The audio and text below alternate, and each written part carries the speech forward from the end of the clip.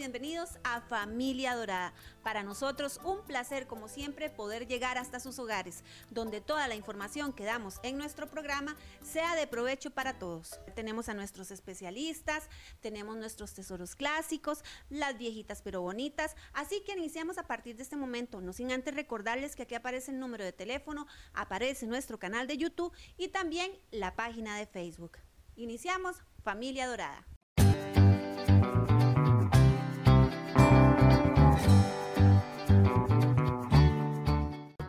Muy buenas, mi nombre es Eric Miranda Valverde, soy médico especialista en geriatría y gerontología del Hospital Nacional de Geriatría y Gerontología, Dr. Raúl Blanco Cervantes. En esta ocasión quiero comentarles en relación a lo referente al sueño, en el sentido de que estudios recientes han demostrado tanto que dormir poco como dormir mucho interfiere en la capacidad cognitiva y el riesgo de desarrollar problemas de memoria en cualquiera, pero sobre todo en personas mayores. En la actualidad muchas personas sufren de trastornos del sueño relacionados con malos hábitos de higiene del sueño y una de las cosas que más está afectando es el hecho de la exposición prolongada a la luz azul de las pantallas de los celulares, tablets, luces de paredes o techos LED, luz blanca o las pantallas de los televisores. Así que la recomendación es para que después de las 7 de la noche evitar al máximo esta exposición prolongada, sobre todo a la pantalla del celular, tablet y tratar de reducir la exposición eh, después de estas horas para que la calidad y la cantidad del sueño sea mejor y reducir estos problemas asociados a sueños de mala calidad y de mala cantidad.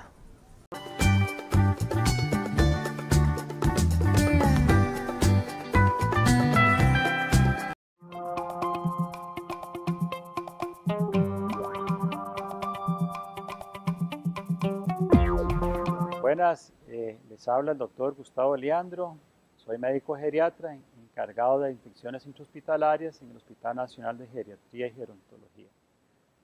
El tema que vamos a mencionar o conversar es sobre las infecciones urinarias. El primer punto que debemos partir es eh, cuáles son los síntomas iniciales para saber si hay una infección urinaria. Los síntomas urinarios por lo general es dolor al orinar, una pesantez en la parte baja del abdomen, y orinar frecuentemente, tener esa sensación de que va, orina y que no logra vaciar toda la vejiga y que en menos de una hora necesita llegar nuevamente a orinar. Esos son los síntomas principales. Otros síntomas es la incontinencia urinaria, la eliminación de la orina en forma involuntaria de manera inconsciente. Es un síntoma que podríamos también estar desarrollando en los pacientes que tienen algún grado ya de afectación, que están encamados, que tienen una demencia muy evolucionada, los síntomas suelen ser más difíciles de detectar. En ellos podremos ver manifestaciones como que dejan de comer, que tienen una somnolencia excesiva o que tienen una irritabilidad o un delirio. Podrían ser síntomas que nos orienten a una infección urinaria. Lo que sí es cierto es que cambios en el olor de la orina, en las características de la orina, como una orina más oscura o más blanquecina, eso no son hallazgos para decir que tengo una infección urinaria. Pueden estar relacionados por medicamentos, por deshidratación y no necesariamente estar relacionados con una infección urinaria.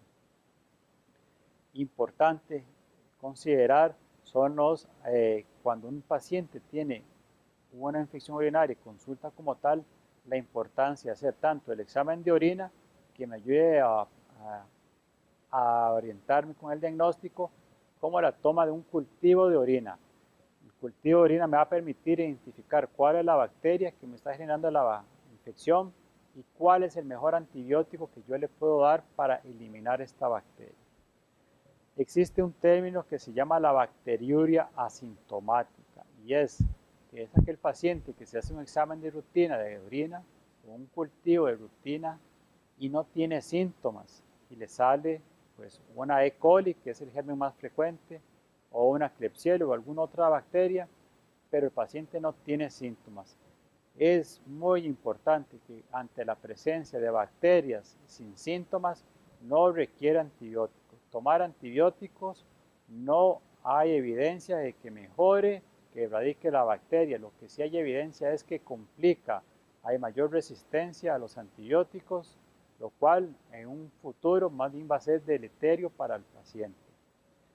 La prevención de las infecciones urinarias va muchas veces con la higiene, la higiene del paciente, la higiene de los genitales. La mujer acostumbrar a que no debe pasar más de dos horas sin ir a orinar para evitar la retención de orina, lo mismo del hombre. Un aspecto importante en el hombre es el crecimiento de la próstata. Después de los 60 años tiende a haber un aumento del crecimiento de la próstata y se dice que a los 70 años un alto porcentaje, casi como el 70%, tienen crecida la próstata, lo cual va a generar síntomas que van a dificultar vaciar la vejiga. Al orinar va a ser más dificultoso, va a tener goteo, va a tener incontinencia, el chorro va a disminuir y la orina se va a empezar a quedar retenida dentro de la vejiga, con el riesgo de que llegue a tener cuadros infecciosos a repetición. Entonces, un hombre que hace una infección urinaria hay que valorarse por el médico. Puede estar detrás un crecimiento benigno de la próstata. Una mujer que hace infecciones urinarias a repetición debe ser valorado por el médico buscando alguna alteración anatómica de la vejiga.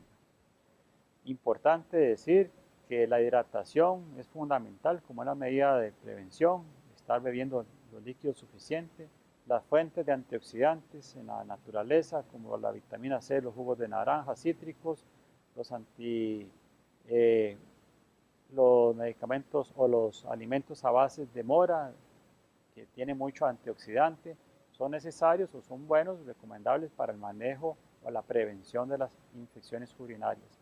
Una buena higiene y cosas específicas, situaciones específicas propias de la edad, como los prolaxos, la incontinencia, son situaciones que deben ser valoradas por su médico general o específicamente por su médico geriatra.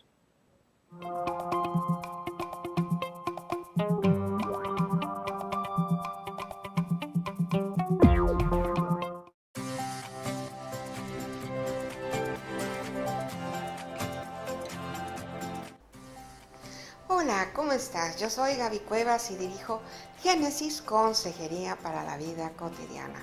Y hoy te quiero hablar de qué hacer cuando hay una ruptura de una relación. ¿verdad? Puede haber divorcios, puede haber separaciones, puede haber este, pues, situaciones difíciles que te separan de la persona que tú quieres o de la persona que tú pensabas que te quería. ¿Y qué podemos hacer frente a un momento donde no sabes qué hacer, donde estás triste, donde sientes que tu vida se acabó?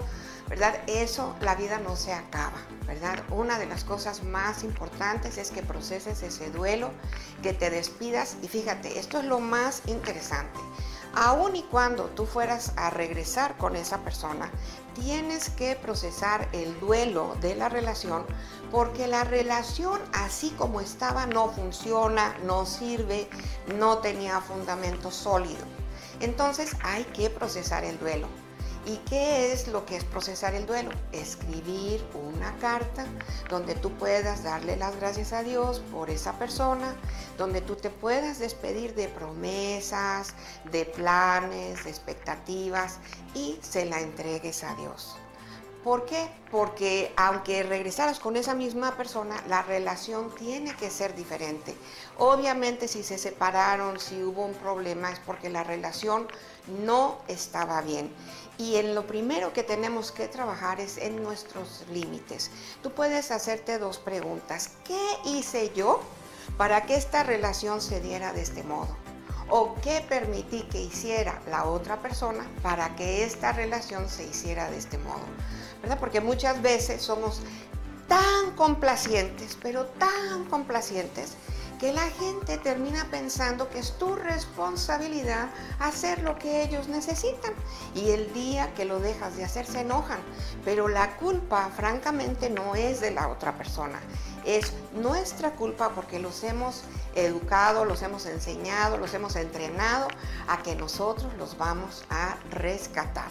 ¿Verdad? Inclusive, por ejemplo, en alguna ocasión trabajé con, con un muchacho que terminó con la novia y, se enojaba, pero como un miura, contra su papá y contra su mamá.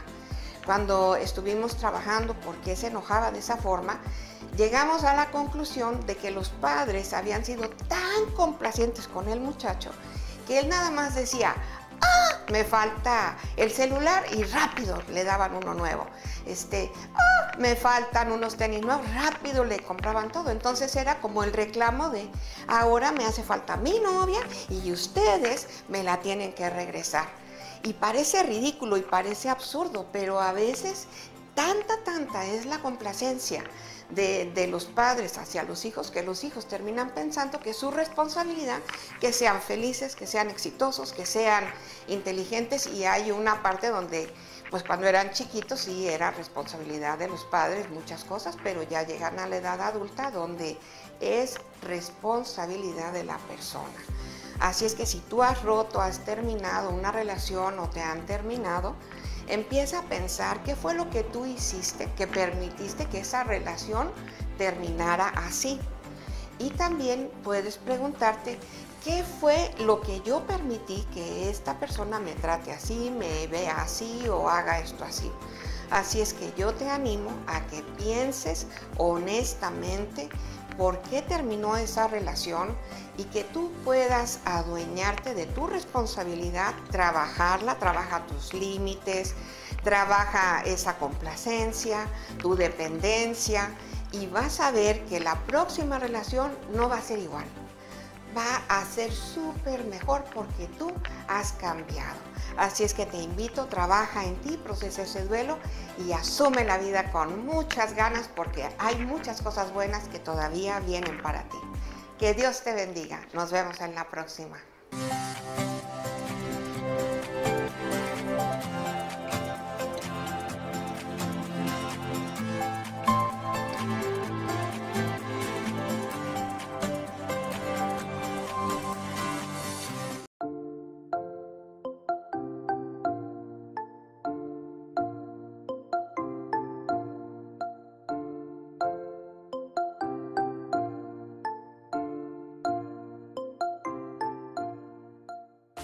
Buenas, yo soy el doctor Luis Carlos Remón, soy odontólogo y hoy voy a hablarles sobre la importancia de visitar al odontólogo cada seis meses. Es importante realizarse su limpieza periódica para prevenir el sarro, que es la principal causa de mal aliento, y prevenir el sangrado y la inflamación de las encías. Recordemos que a partir de esa limpieza nosotros vamos a evaluar su salud bucodental, si las restauraciones que presenta en boca están en buen estado o están en mal estado ya sean resinas, ya sean calzas, ya sean puentes o coronas. Las vamos a analizar. Y también es importante tomar una radiografía de control, ya que lo que nosotros no vemos con nuestros ojos, lo vemos a través de una radiografía. Cualquier duda o pregunta, llamar al teléfono 72 46 7472.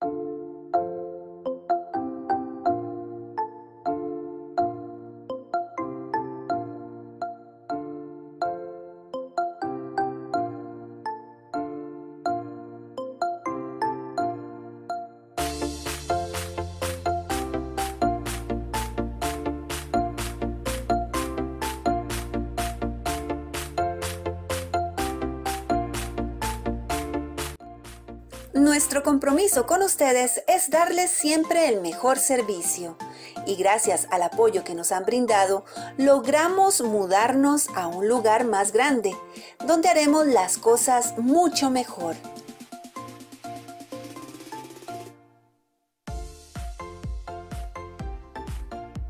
Arrancamos una nueva etapa en nuestra clínica, con mejor parqueo, accesibilidad, mejor atención y mejor tecnología. Como vieron, estas son nuestras nuevas instalaciones. Estamos al frente de la Veritas, en Plaza Veritas, en el segundo nivel. Estamos para servirles, aquí los esperamos. Muchísimas gracias.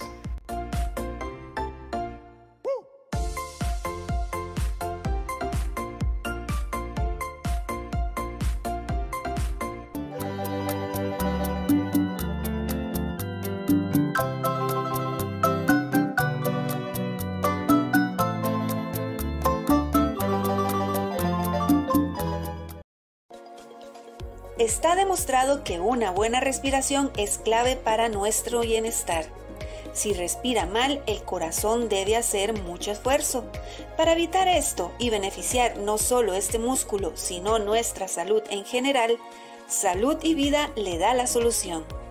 Es el proveedor de equipo médico especializado en neumología, en máquinas de terapia que contrarrestan la rinitis, sinusitis, entre otras deficiencias respiratorias. Cuentan con equipos de monitoreo de presión arterial, oxímetros y mucho más. Consulte al WhatsApp 89 81 61 71. Salud y vida, porque si tenemos salud, tenemos bienestar. Sí, sí, sí, la base pues el mejor. Sí, sí, sí, la base pues lo mejor. Traje que por años usó la señora. La base pues lo mejor. Mantiene su tersura y no se decolora. La base pues lo mejor. Sí, sí, sí, la base pues lo mejor. Sí, sí, sí, la base pues lo mejor.